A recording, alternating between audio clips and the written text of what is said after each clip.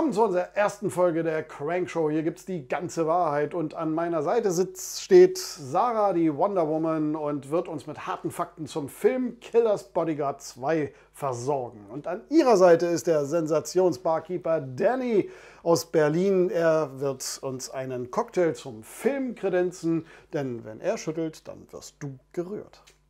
Jetzt aber erstmal Sarah mit den Fakten. Ja, Teil 2 der rasanten, bildgewaltigen, unglaublichen, granatenstarken Sensations-Action-Komödie mit Samuel L. Jackson. Abonniert die Scheiße!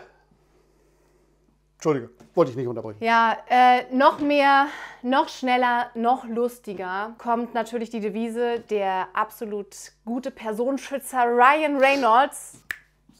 Wusstest du, dass Ryan Reynolds an der Highschool durch den Dramakurs gefallen ist? Und trifft auf den Killer Samuel L. Jackson. Äh, wusstest du, dass Samuel L. Jackson im ersten Teil 41 Mal Motherfucker gesagt hat? Und ich weiß sogar warum, du willst das bestimmt wissen er hat gestottert in seiner Jugend. Und weil er nicht wusste, was er, was er dagegen machen soll, ist er in die Schulbibliothek gegangen, hat ein Buch gefunden, das ihm die Rettung versprach, nämlich er soll sich auf einen Kraftausdruck konzentrieren. Motherfucker. Ja. Jetzt weißt du es. Toll. Mhm. Ja, äh, Entschuldige. Bitte. Ja, seine Frau Selma Hayek. Oh, oh, oh. Wusstest du, dass Salma Hayek 2006 einen Preis gewonnen hat für die beste Nacktszene? Es war äh, Ask the Dusk mit Colin Farrell. Ich habe ein Foto, nicht von Colin, ich habe von war ja klar. Salma.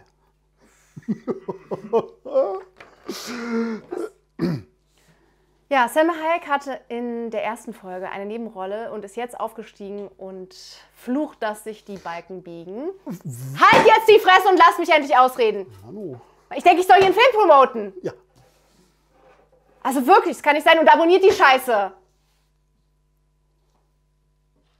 Ja, also der Kinostart von Killers Bodyguard 2 ist am 26. August.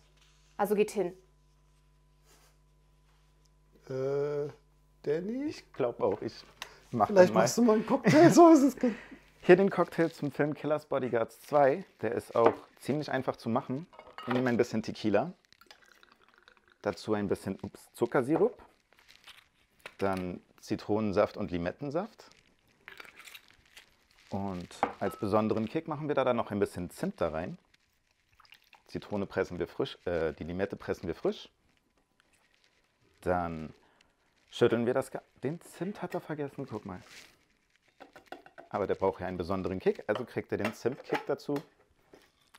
Dann shaken wir das Ganze.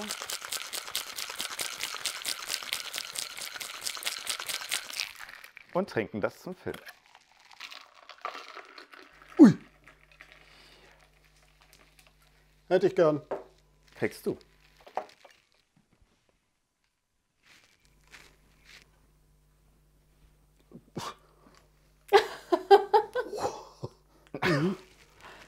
Riecht gut.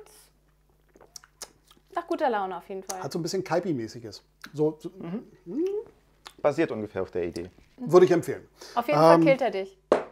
Will ich noch öfter aufnehmen, mal schauen. Der Sinn dahinter. Äh, Das Rezept dazu kriegt ihr hier unter der Mailadresse. Schreibt uns eine Mail, dann schicken wir euch das Rezept dazu, falls ihr den Text von Danny vergessen haben solltet. Ansonsten, das war die Crank Show für diese Woche. Ich hoffe, es hat euch gefallen. Wenn es euch gefallen hat, dann abonniert, die, Scheiße. Und wir sehen uns nächste Woche wieder, hoffentlich.